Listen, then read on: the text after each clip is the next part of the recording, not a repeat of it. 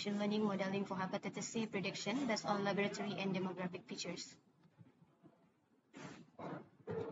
This is the exploratory data analysis.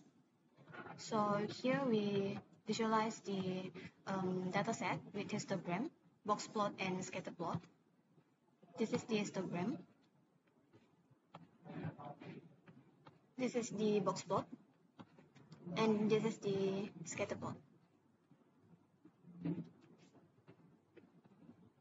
For dataset issue and processing technique, we have identified um, four um, dataset issue, which is missing value. So the processing processing technique for missing value is imputation with min.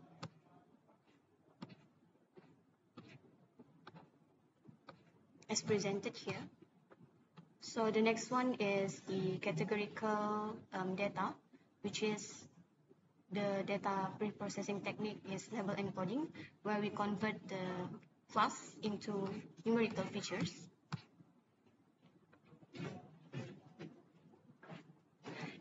Next is class imbalance. So for class imbalance, we um, handling the class imbalance with oversampling technique. And lastly, handling outliers. So for outliers, we remove the outliers and storing the remaining data. The result can be seen here.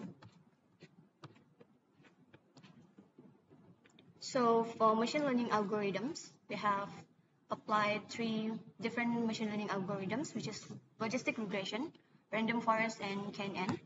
So firstly, we shuffling the data for data preparation.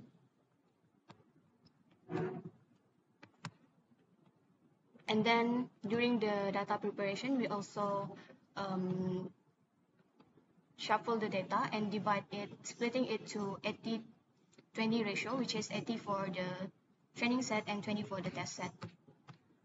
So the first um, machine learning algorithm is logistic regression.